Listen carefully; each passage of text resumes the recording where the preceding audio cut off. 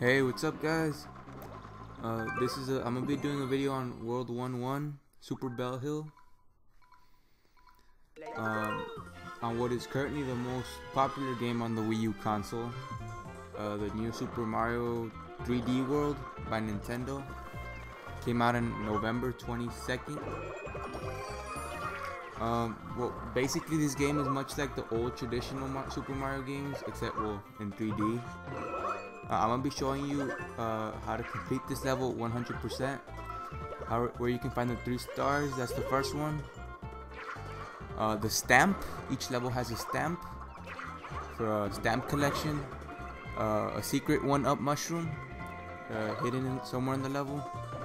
And also to uh, that's the checkpoint flag. If you want to pass the bunny, yeah, he has a second star. Go into the pipe. That's the stamp. Uh, if you want to pass the level 100%, yeah, at the end of the level there's a flag. You have to make sure you get the flag at the very top. You get 10,000 points if you get it at the top. You have to make sure you get it at the top.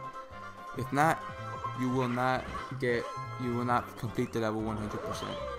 You want to hit this bunny right here. Get that big mushroom. Get all big and huge. Destroy all this. Um, this game's pretty cool. You can play as Mario, Luigi, Peach, and Toad. I play as Mario, right? Standard character. That's the third star.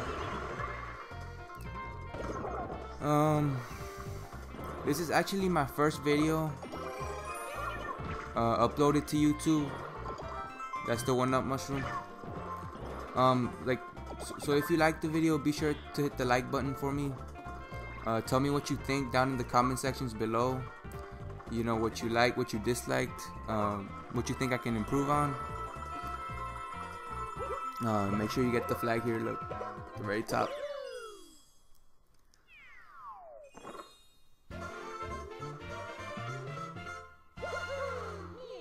Cool thing about this game you can be a cat. That's the stamp. Get the Mario stamp for the first level and uh, that's it for level one. Got the three stars. That's it. Um, I really appreciate y'all's watching my video. Uh, thanks. This has been the Candyman. Thanks for watching.